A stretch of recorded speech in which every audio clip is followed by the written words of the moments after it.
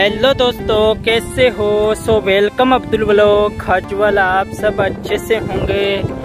अभी शाम का वक्त है, साढ़े चार बजे हैं। दोस्तों, आज भयंकर तूफ़ान आया था। काफ़ी सारा नुकसान भी हुआ है। हमारा बबूल का पेड़ था, ये बड़े वाला, वो टूट गया है। इसके नीचे मेरे प्लांट लगाए हुए थे, वो भी नीचे दब गए हैं, वो टूट गए हैं। काफ़ी सारा नुकसान हुआ है, काफ़ी सारी बादल अभी हो रखी है। चारों तरफ़ बादल ही बादल हैं। और बरसात भी हुई है, दो से तीन अंगुल के करीब।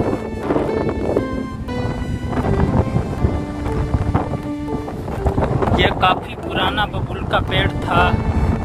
इसी वजह से इस पर भार काफ़ी सारा था, इसलिए ये टूट के नीचे गिर गया है। इस तरह कुछ।